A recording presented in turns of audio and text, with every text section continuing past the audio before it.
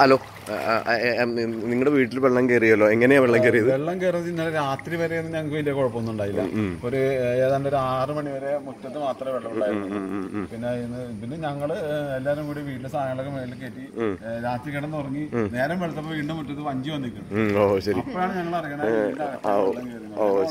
കിടന്നുറങ്ങായിരുന്നു ആൾക്കാർ വിളിച്ചു ഇവിടെ കറണ്ടില്ല ഒന്നുമില്ല. അപ്പൊ കറണ്ടില്ലാത്തതുകൊണ്ട് ഫോണൊക്കെ ഓഫായി പോയി.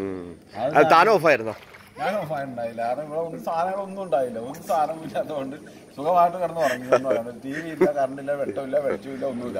ഞങ്ങളപ്പോ കിടന്ന് ഉറങ്ങി. നേരം പണ്ടപ്പോ വഞ്ചിക്കാരൻ വന്ന് അതാരാ പുറകിൽ നീന്തുന്നത് ആ പയ്യനോടൊന്ന് ചോദിക്കട്ടെ. ഹലോ. അത് നിങ്ങൾ വെള്ളം വീട് ഇത്രയും പൊങ്ങിയിട്ടും എങ്ങനെ ഇങ്ങനെ നീന്താൻ എങ്ങനെ കഴിയുന്നു? അത് നമ്മളെ കൊണ്ട് അങ്ങനെ സാധിക്കുന്നു. വേറെ ഒന്നും ചെയ്യാനില്ല. വേറെ നമുക്കൊന്നും ഇത് ഒരു പിഞ്ച് പൈതലിവിടെ നീന്തുന്നുണ്ട്. എങ്ങനെ ഇങ്ങനെ നീന്താൻ പറ്റുന്നു?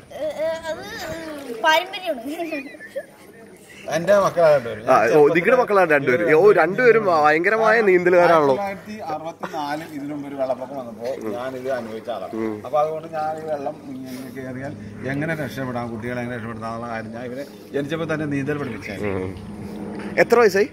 എനിക്ക് മുപ്പത്തി ആറ് കൂടെ ഒരു ഇരുപത്തഞ്ച് കൂടി കൂട്ടണം. അല്ല മുപ്പത്താറ് വയസ്സായാണ് ആയിരത്തി തൊള്ളായിരത്തി അറുപത്തിനാലിൽ ഞങ്ങൾ രക്ഷിക്കാൻ വേണ്ടി ഹെലികോപ്റ്റർ ഹെലികോപ്റ്റർ പറന്നുകൊണ്ടിരിക്കുകയാണ് മുകളിൽ. അതാ ഹെലികോപ്റ്റർ നീങ്ങിക്കൊണ്ടിരിക്കുകയാണ്. എവിടെ? ക്യാമറമാൻ വിനോദിനോടൊപ്പം ആനന്ദ് കുമാർ. Local team